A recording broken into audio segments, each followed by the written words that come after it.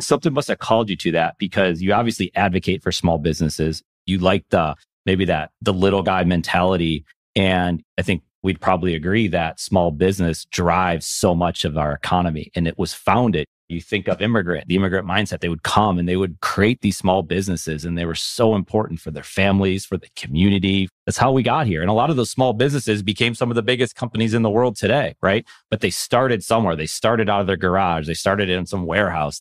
They just figured it out.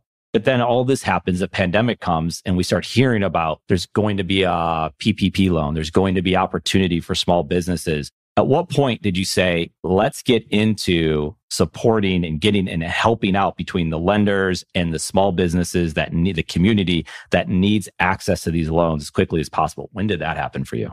Yeah. So the pandemic hit, it was about mid March. And within about a week, Congress was talking about passing the CARES Act.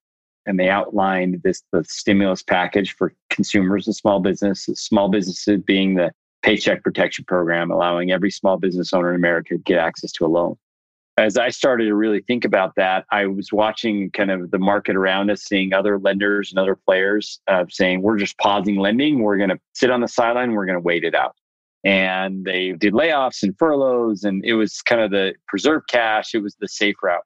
As I was looking at it, I realized every business owner in America is going to need a loan and they're going to need someone to help them and you're going to have to leverage technology to be able to accept the applications online and match them up to a lot of lenders. And I think this is an enormous opportunity. And there's way more unknowns than knowns. And this is an enormous risk. And we just raised a round of capital. So we have fresh capital, but I didn't want to just go burn it all taking a shot.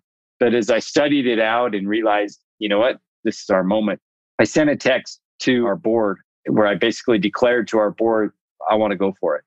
And it was a Winston Churchill text or quote. It says this To every man or woman, there comes in his lifetime that special moment when he is figuratively tapped on the shoulder and offered a chance to do a very special thing, unique to him and fitted to his talents.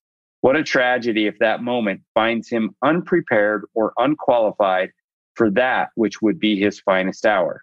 And I said, hashtag our moment. And I said, we're going for it. The opportunity is too great. The moment is extremely exciting, and there are millions of business owners that need help. Someone's going to do that. It might as well be us because we're prepared for this moment. We were tapped on the shoulder. And then I started rallying our organization and said, we need to help as many small business owners as we can. And again, we had no idea what that meant.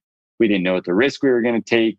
But the story that came from there, where we literally almost crashed and burned like five times and put it all on the line, but it was an amazing, amazing experience and one that was 10 times harder than anything I've ever done in my career, but 10 times more meaningful, no question.